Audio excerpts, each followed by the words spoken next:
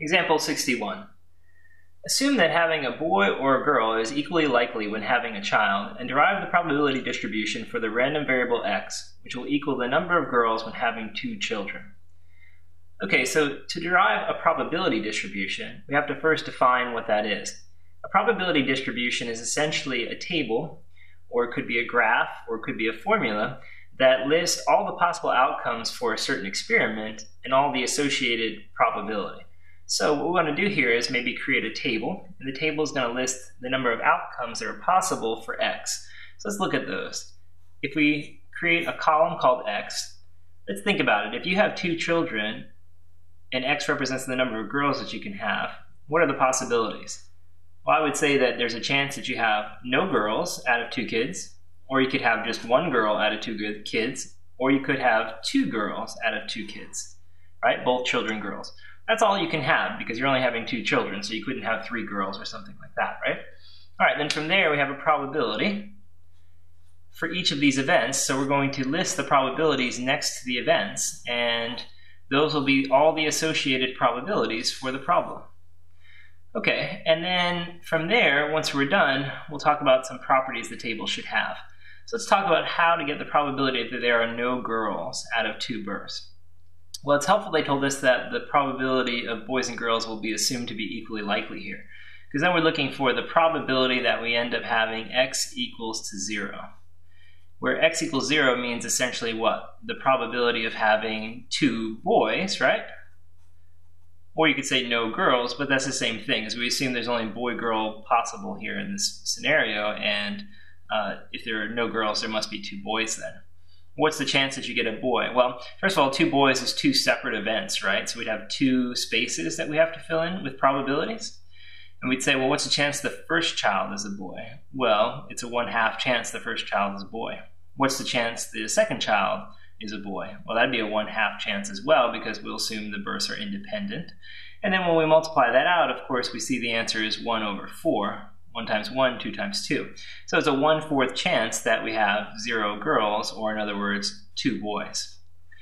Okay, so that one's easy enough. If we actually look at uh, the 2 case here, it's similar, right? Because, of course, the probability that x would be equal to 2 just means the probability of two girls, right? And since boys and girls are equally likely, it would be the same exact calculation, right? Because what's the chance the first child is a girl? Well, one half chance it's a girl.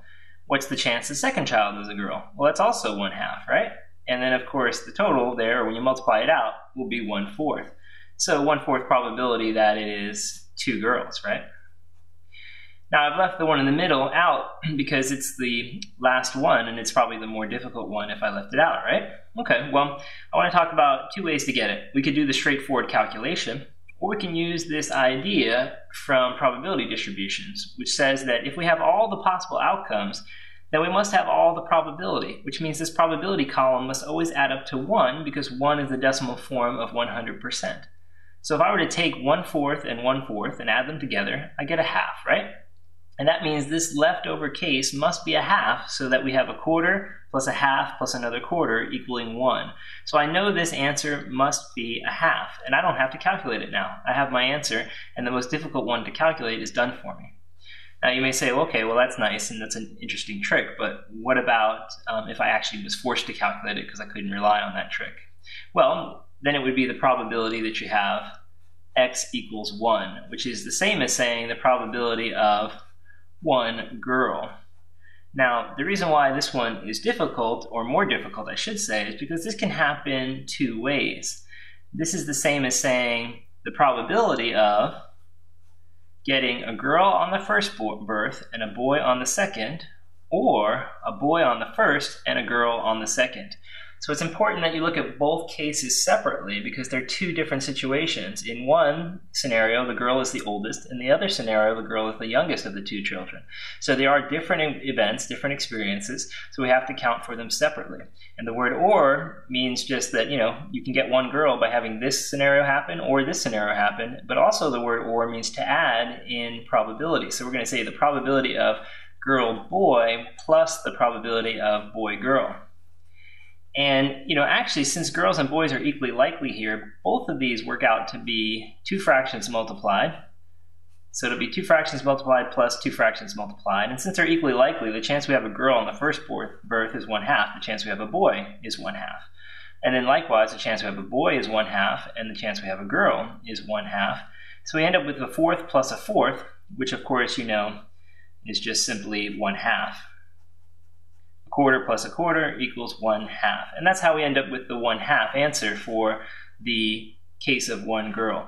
But that was, you know, ultimately um, a more difficult way to do it than the way we did it initially, which is just to say, hey, there's only one missing space, so whatever is in that space must add, make sure that these two things and that add up to one. And that's the um, use of the idea that the probability distribution must have all the probability. So, in other words, this column must always add up to one. The last thing I want to say about the table is you also want to double check to make sure all your probabilities are reasonable. That means they should be between 0 and 1 inclusive. In other words, you can't have any negative probabilities, and you shouldn't have any probabilities that are greater than 1. Ours checks out on that, so we're done.